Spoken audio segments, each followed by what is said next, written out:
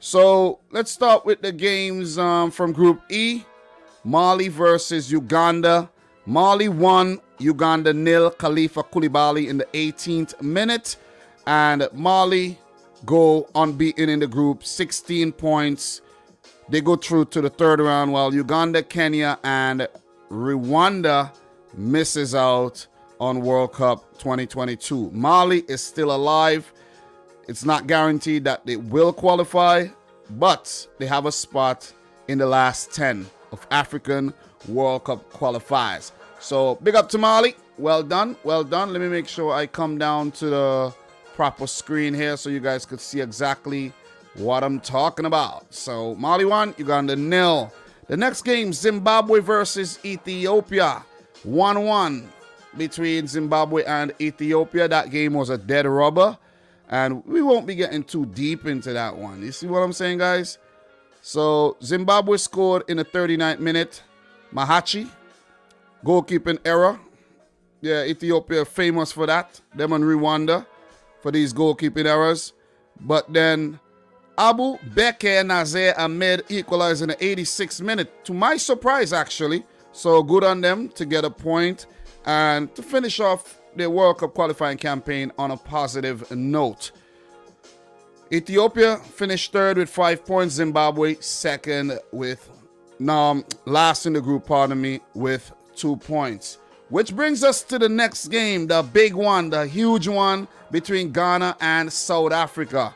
Listen, this game left a, a, a, bitter taste in my mouth because I don't like the way Ghana actually, you know, qualified for the last round there. It, it was a very, very suspect penalty given by the referee, and he ought to be ashamed of himself. He definitely got to be ashamed of himself.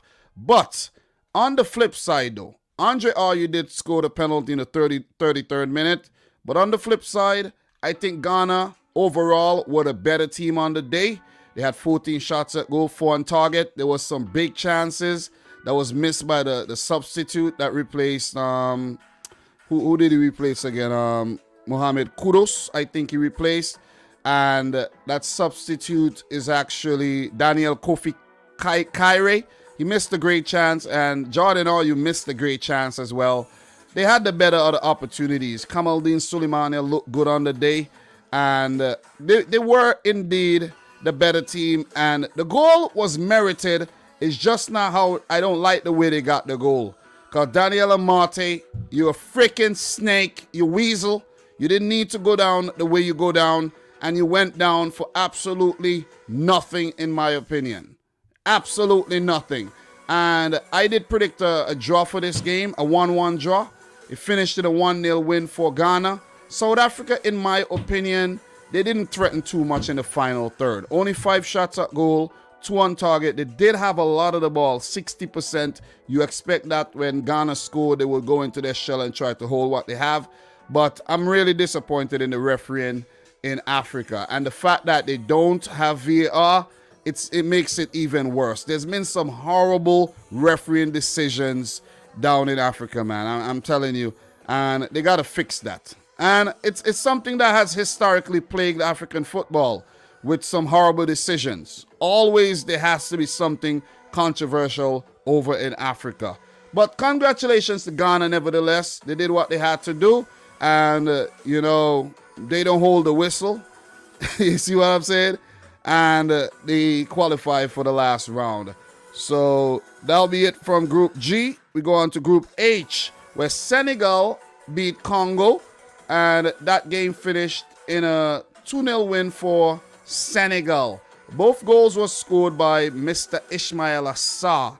He could have scored a hat trick, but you know, he, he scored a brilliant goal from distance in the 13th minute and a tap in in the 23rd he did get a 1v1 and uh, screwed it up. So, Senegal, how amazing. Finished 16 points as well on top the table. Unbeaten in the group. They go on to the third round. They will be one of the seeded teams as they are the top team in Africa. Togo comes in second with five points. Namibia third with five. And Congo at the bottom with three. Which leaves us one more group to talk about from today's games. We did a watch along to this one as well. DR Congo to Benin nil. Listen, this is yet another. Listen, I predicted Benin to get something from this game and preserve their position up at the top of the table. But Benin, quite disappointing, and they were outplayed on the day. They, they like South Africa, did not create enough chances to actually warrant a place into the third round. So I have to give it to Congo DR. Dieumerci Mbokani in the 10th minute. Player was um, held back. Dumb, dumb, dumb decision to hold the player back, but brilliant balling by Arthur Masuaku. And then Ben Malang- Malango in the 75th minute put the final nail in Benin's coffin. They, they didn't play like the team that we saw all throughout the World Cup qualifiers, and they got themselves to blame. But Congo, congratulations to them. They did qualify in 1974 as the nation of Zaire, so they would want to make it back to the World Cup after a very, very long time. That is what 26 and 22. That's 48 long years they will be from the World Cup if they do qualify next year for Qatar. So all the best to DR Congo. The odds would be stacked up against them as they would be one of the unseeded team coming up against a more powerful op- opposition in Africa. But we know Africa is very volatile and anything, and I mean anything can happen. All right? Do not bet your house on any of these teams. Just want to put it out there. Please do not do it. It's not recommended. So in the next game, we had Madagascar and Tanzania playing to a 1-1 draw. So Madagascar at home conceded in the 25th minute Simon Msuva, but they equalized through Hakim Abdallah in the 74th minute. But Pascal Raza Kanan Tenaina was sent off in the 83rd minute. Madagascar held on for a 1 1 draw. DR Congo topped the group with 11 points. Benin with 10 in second. Tanzania third with 8 points. And Madagascar last with fourth. Tanzania had a glimpse into the next round. So did Benin. So did Congo. But Congo is the one that pushed aside everyone else to take that spot. So, congratulations there to DR Congo. Look, we got games coming up tomorrow. I did make some predictions yesterday. So we have games from Group A. Let me just go down here and then we'll talk about the table briefly. We only got four games coming up. Niger versus Djibouti.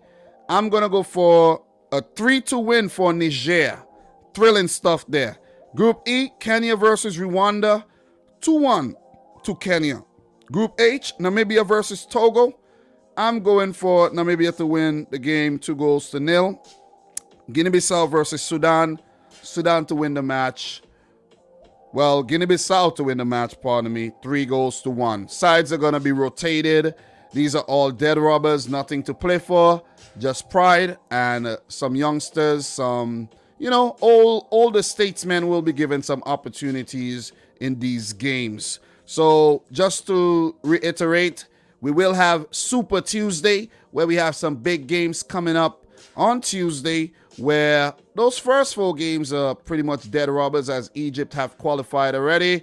Mozambique, Malawi, dead rubber. Libya, Angola, dead rubber. Liberia, Central African Republic, dead rubber. But this is where it gets huge. Algeria versus Burkina Faso. All Burkina Faso needs to do is to win their game by any margin and they're through. Algeria, remember back in 2014 when they used this format, qualified to the World Cup against Burkina Faso 3-3 on away goals rule. So Burkina Faso would want to get their revenge on Algeria. So this match is a huge one. Then we have Nigeria coming up against Cape Verde. This one is also a fight to the death where Cape Verde wins, they go through Nigeria. They only need a draw from that game. And you would fancy you know, Nigeria to get something from this. Definitely will. The Super Eagles will, you know, fly in any weather right there. So, Morocco versus Guinea, that's a dead rubber. Morocco through to the next round already. But Tunisia versus Zambia is a huge game because if Zambia manages to, let's say, destroy Tunisia, then Zambia could actually get the spot if Mauritania does beat Equatorial Guinea. So these groups are set up really, really nice. We have Zambia with a plus one goal difference, Tunisia with a plus seven, Zambia with let's say they they win by four goals. Matter of fact, three goals, three goals to nil. They go up to plus four. Tunisia drop down to plus four as well. Zambia would be ahead of them on goals scored. They would depend on Mauritania to beat Equatorial Guinea. So it is possible because you have um, Enoch Mwepu and, you know, Fashion Sakala. You have Patson Daka and them guys for Zambia playing some good football. You never know what could happen. But Tunisia on the could also get the job done. Equatorial Guinea, they're in a very good position because let's say Tunisia and Zambia play to a draw. Equatorial Guinea beats Mauritania, then it's Equatorial Guinea through to the next round. So that's pretty brilliant. And we will talk some more about these matches tomorrow and make the predictions. Cameroon versus Ivory Coast is also a big one. And oh man, mouth-watering stuff here. With Cameroon play at home, Ivory Coast have the odds stacked up against them. All they need is a draw. So Africa is looking really, really tasty here. Like a nice plate of food. I don't mean to remind you guys of food, you know what I mean? I know some of y'all might be hungry right about now. But let's take a look at what the groups look like. Let's go. Algeria, Burkina Faso. Not yet secured in Group A. Tunisia, Equatorial Guinea, Zambia in Group B. Nigeria, Cape Verde. Group D, Ivory Coast, Cameroon. The those first four groups undecided. But Group E, Mali through. Group F, Egypt through. Group G, Ghana through. Group H, Senegal through. Group I, Morocco through. And Group J, Congo through. So six teams have booked their place into the final round. There's only four spots left. Who'll take them? We will find out on Tuesday. So that'll do it for Africa. And those are my thoughts. If you have any, let me know.